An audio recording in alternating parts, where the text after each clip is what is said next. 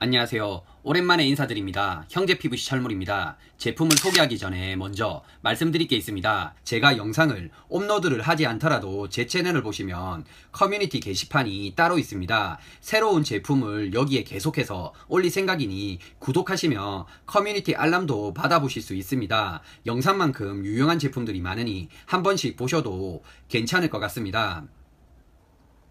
오늘 영상은 PB 특수부속 소개를 해볼까 합니다. 지금 제가 손에 가지고 있는 제품은 PB 십자티, 사방티, 크로스티라고 불리는 제품입니다. 15mm 부속이고요. 이 제품은 한 군데로 물이 이동을 하면 나머지 세 방향으로 물을 보낼 수 있는 역할을 할 수 있는 부속입니다. 많이 사용되는 부속은 아니지만 PB 매립형 분배기 보수 및 좁은 공간에서 물을 여러 방향으로 보내야 할 때 꼭 필요한 부속입니다. 이 부속은 15mm 부속이지만 16mm 부속으로 받고 사용이 가능하기 때문에 소개를 해드리는 거고요. 공장에서 16mm 십자티를 만들어 주시면 좋겠지만 현재는 없습니다. 이 부분은 추후 협의를 해볼 생각입니다.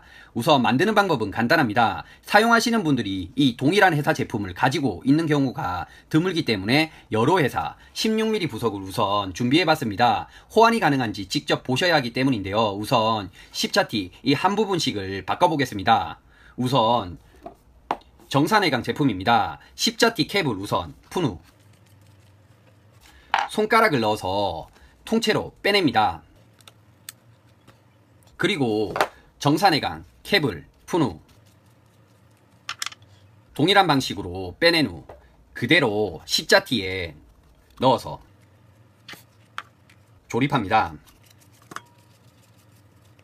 다른 회사도 테스트를 같이 해볼게요. 세림테크 제품도 조립해 보겠습니다.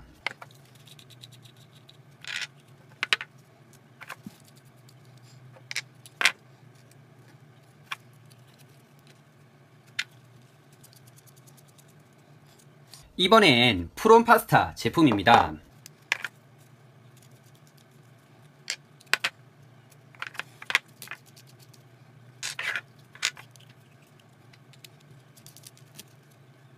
마지막으로 제가 주력으로 파는 신제품 회사 구제품 PB부속을 넣어볼게요.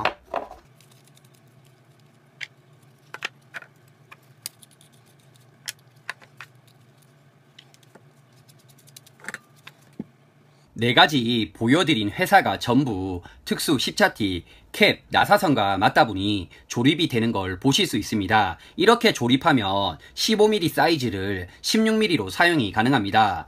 같은 회사 제품이면 더 안심하고 교체해서 쓸 수 있습니다. 십차티 16mm 생산이 되지 않는다면 믿고 사용할 수 있게 특수 부속과 동일한 회사인 카프린 16mm 부속을 같이 구비해 판매를 하는 쪽으로 맞춰보겠습니다. 그리고 대부분 안쪽 이 고무 오링과 그램링은 동일하기 때문에 바꾸지 않아도 된다고 아시는 분들 많을 겁니다. 사이즈가 확실히 틀린 캔만 바꾸는 건 전 사실 반대입니다. 동일하게 이 고무 오링과 크기를 사용하는 회사가 있는 반면 0.00 몇 미리 차이를 두는 회사도 있기 때문에 확실하게 구성품까지 앞에 보여드린 것처럼 전부 바꾸는 게 좋다고 생각합니다. PB 매립형 분배기는 현재 가장 많이 아파트에 사용되고 있습니다. 장점이라면 전선관을 통해 매립형 분배기로 누수 체크가 가능하며 배관 누수 시 벽 천장 타공 없이 배관을 통째로 뽑아서 교체가 가능합니다. 반대로 단점 역시 존재합니다. 동일하게 냉수 8구, 온수 8구를 사용하는 게 아니라 평수에 따라 구수도 틀리고 제품 구성, 이 바디, 크기 역시 틀리며 간격 역시 차이가 많이 납니다.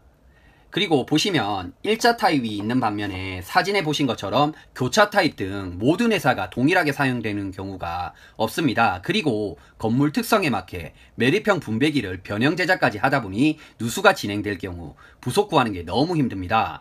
10차티는 구수가 적은 2구, 3구, 4구형 보수에 이런 식으로 연결을 해서 사용할 수 있습니다.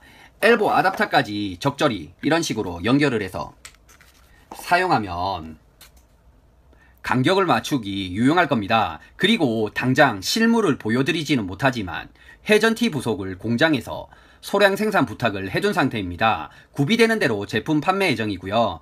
회전티는 특수 제작한 PB 매립형 분배기에 사용이 가능합니다. 사진을 보시면 PB 매립형 분배기가 상당히 특이합니다. 이 제품은 제작 제품이기 때문에 시중에서 구할 수 없습니다. 그렇기 때문에 지금 제작 중인 회전티 윗부분 배관이 솟아있는 부분에 이런 식으로 엘보를 사용한다면 동일한 방식으로 만들 수 있어 여러 개 연결해 사용 시 보수가 가능할 걸로 예상이 됩니다. 조립이 끝나는 대로 공장에서 연락을 주시기로 해서 기다리고 있으니 설비업자분들 가려운 부분을 긁어드릴 수 있게 항상 노력하고 있으니 기다려주시면 기대에 부응하겠습니다. 다음 영상에서는 PB 혼합 부속을 한번 다뤄볼 텐데요. 최대한 룰은 지켜주셨으면 해서 다루는 영상이니 기술자분들도 꼭 한번 보셨으면 합니다. 오늘 준비한 영상은 여기까지입니다. 형제 PVC 철물이었습니다. 감사합니다.